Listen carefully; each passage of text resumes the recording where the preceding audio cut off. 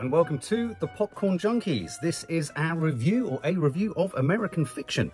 Now, this is a film that when the trailer came out, uh, you know, there, there, wasn't much interest in the UK, interestingly, around this film.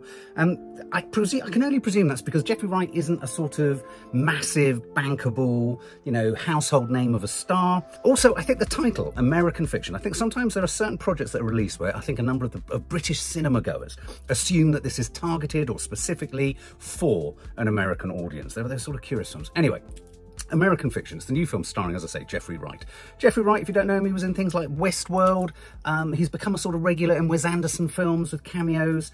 Um, he was in a fantastic film. I forget the name of it. What was it bloody called? In which he he acted. Uh, it was a fiction, but he acted within a real penitentiary with real life inmates. Uh, fabulous, fabulous film. Me and Maddie saw it at the Tribeca Film Festival. Um, his first kind of moment that he kind of hit the kind of network of kind of Hollywood, if you like, was uh, when he played uh, Basquiat, the pop artist. He plays a professor and a writer in this. He's uh, Thelonious Monk, I think. Yeah, as in he's not the pianist, jazz pianist, but that's his name, Thelonious Monk Ellison.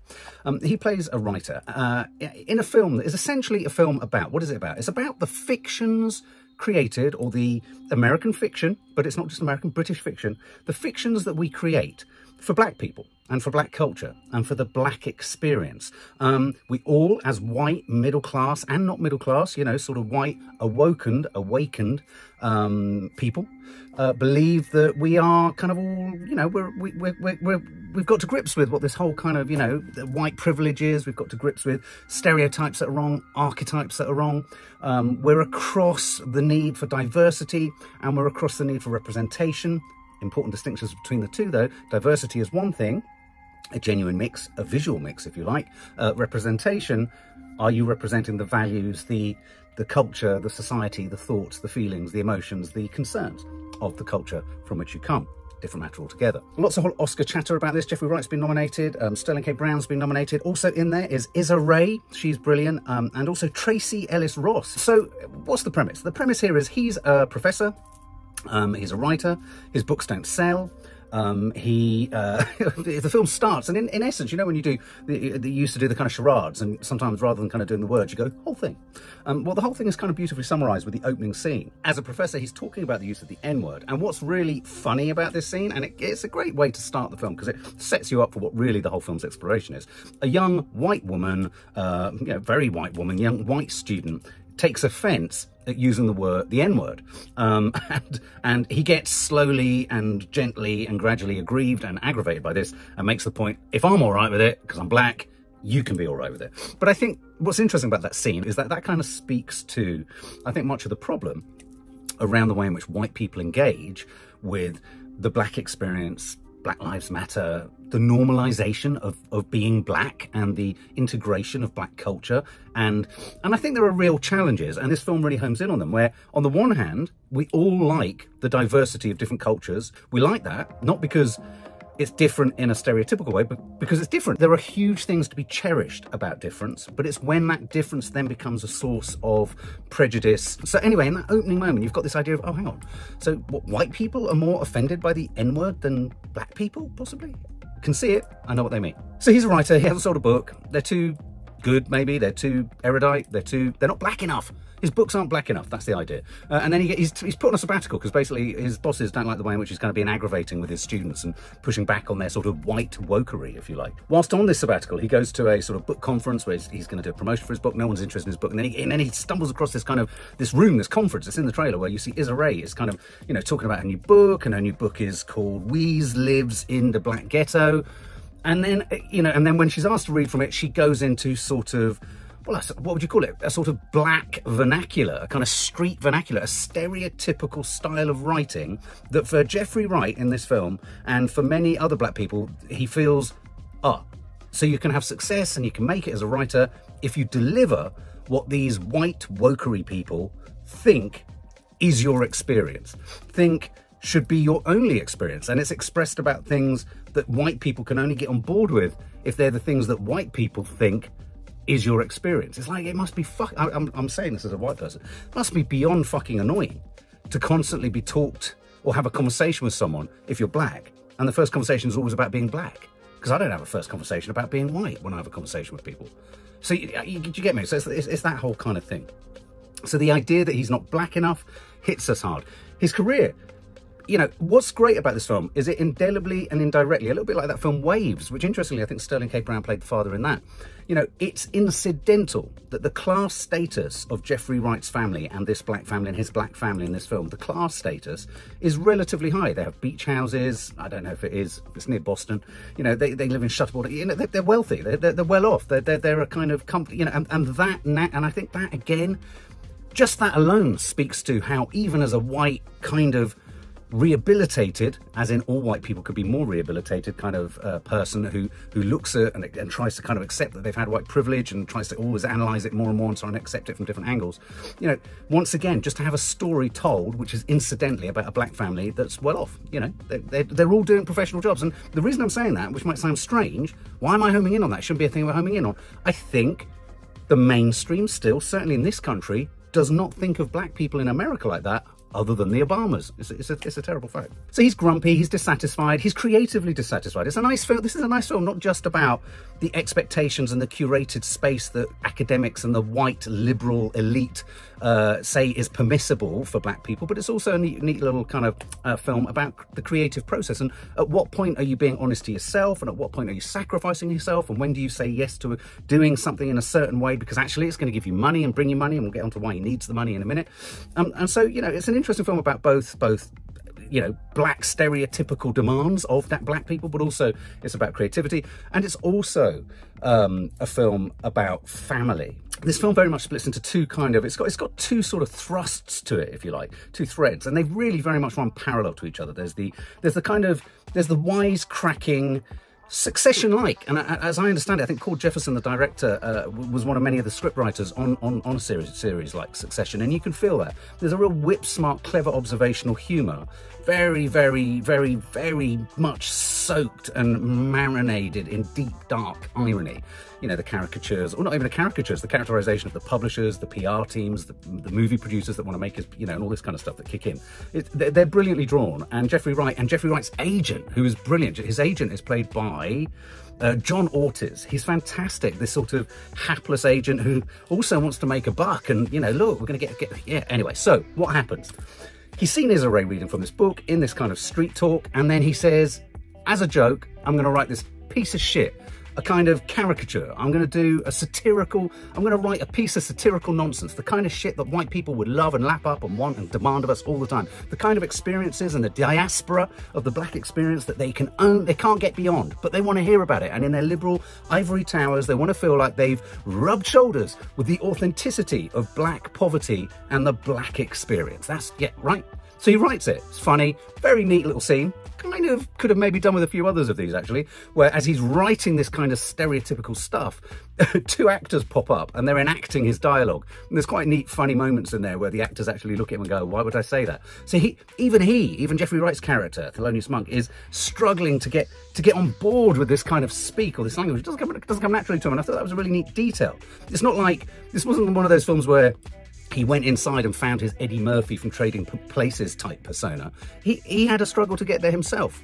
And that in itself turns the whole kind of stereotypical thing on its head. In fact, there were moments where I felt he had some strange affinities, his character, with Nick Cage's character from Dream Scenario. You know, this sort of, not, he's not quite as middle-aged as Nick Cage in that, but, uh, you know, a nondescript man of a nondescript age, having not done anything particularly descript, if there's such a word, uh, you know, a nondescript career at, at, this point. You know, he's creative, he's loved, he's, he, you know, but he, but he hasn't made a mark, and so he's kind of invisible in, in, in his own way. And then, so as I say, he writes this book. You get a satirical book, yeah. And alongside it, we meet his family, and I think, you know, these are two these two parts of the film.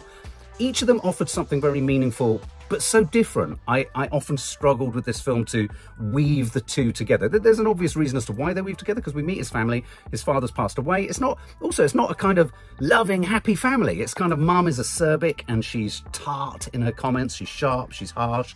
Uh, you know, the dead dad was a philanderer, wasn't there, hurt his mum, was off having affairs all the time.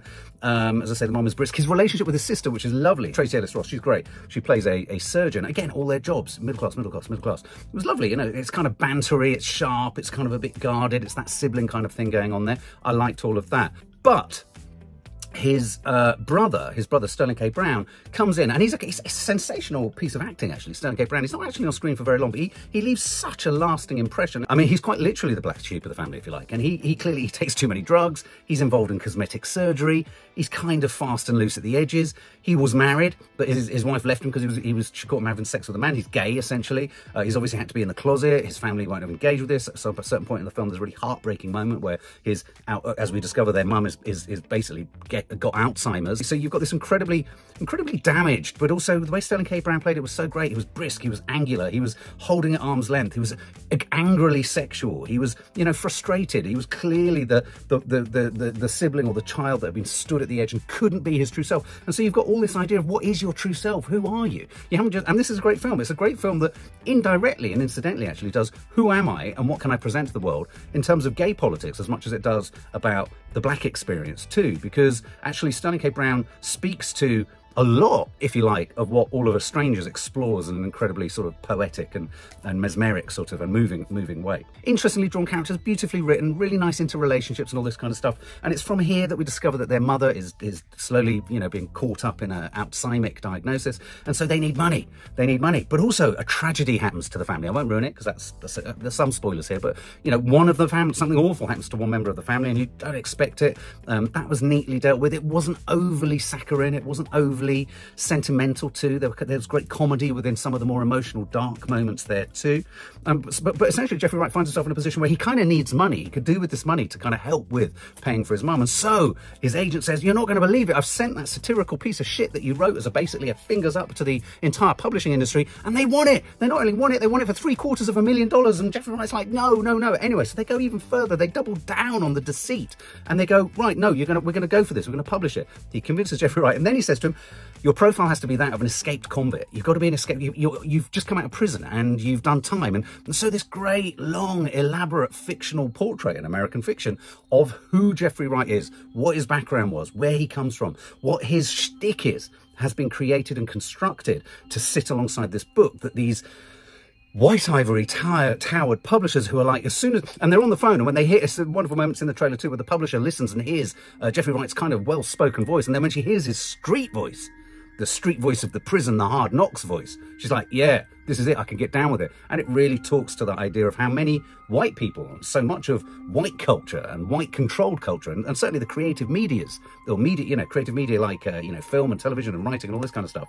There is a kind of as stereotypically prejudicial, uh, racist approach to what being a black writer should be, could be, or they want it to be. There are some, you know, it's interesting again, it evolves into some of its own prejudices. Jeffrey Wright struggles with his own identity. There's a moment, a really clever moment, where the book gets published, it becomes a huge success. There's this deep irony that it's potentially going to be nominated for the Booker Prize, on which he's a judge, and there are two black judges. They've put the two black judges on the Booker Prize long uh, judging panel, so they've got diversity. And then you've got this curious situation where you've got white people uh, and and his black colleague is Issa Rae, the author of the book at the beginning of the film. They're all on this panel, and he's beginning to judge himself. He's like, at one point, the girl, the woman. Now, the woman that he starts an affair with, or not an affair, but a relationship with, across the way, across the road from where his parents live on this in this lovely coastal resort. Um, her name, the actress, is Erika Alexander. She is sensational. She is wondrous. She's beautiful. She's sassy. She's smart. She doesn't take his bullshit. But weirdly, she loves the book that he's writing, which incidentally, at a certain point in the film, he's changed the title of it to something which is going to throw, he wants to call it fuck. Everyone goes, you can't call it fuck. And then even that, everyone goes, oh no, we could turn that to our advantage. Great moment where the PR manager of the publicity of the book's like, uh, don't know if we can call it fuck. I think we could call it fuck. Let's call it fuck. Anyway, so Jeffrey Wright's girlfriend that he makes in the film, she likes the book and he gets angry with her because she's signed up to or bought into or enjoys something in this essentially black pulp fiction, if you like. This kind of white, designated, permitted storytelling or self-expression that he feels is the only thing that culture or society or the you know the creative media industries wants to get on board with. And so you've got that neat, and that's neat. There's a sort of slight contradiction in there too, which is really nice. Parts of the film that didn't really work for me. There's the whole housekeeper, the housekeeper who's lovely, who looks after the house, Jeffrey Wright's family's house on the on the coast.